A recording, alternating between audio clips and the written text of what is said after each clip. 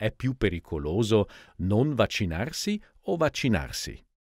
Allora, la paura è normale, nel senso che è come quando io salgo sull'aereo la prima volta e non sono mai stata su un aereo, ho una paura folle di volare, anche se statisticamente è dimostrato che volare eh, sull'aereo è molto meno rischioso di andare in macchina, eppure tutti andiamo in macchina e nessuno pensa alla morte.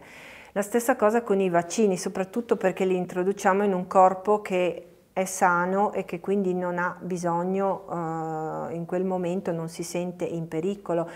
Altra cosa è quando io per esempio ho un tumore e devo fare una terapia, allora lì con la chemoterapia mi mettono dentro di tutto, io non chiedo niente perché chiaramente eh, la mia vita è in pericolo in quel momento, io mi sento in pericolo, quindi accetto, quindi l'accettanza di questa eh, cosa sconosciuta ehm, è molto diversa rispetto a un vaccino dove io mi sento comunque eh, in una situazione in cui sto bene, non ho bisogno in quel momento di nulla.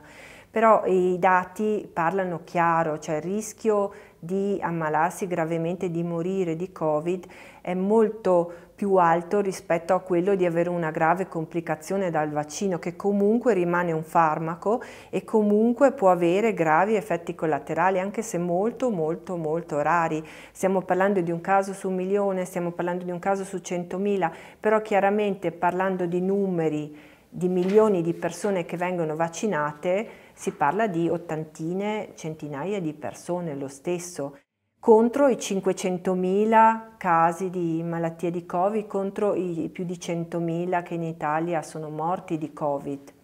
ufficialmente, perché poi i dati non ufficiali sono un'altra cosa. Chi è morto a casa e non ha avuto la diagnosi di Covid, anche quelli vanno messi dentro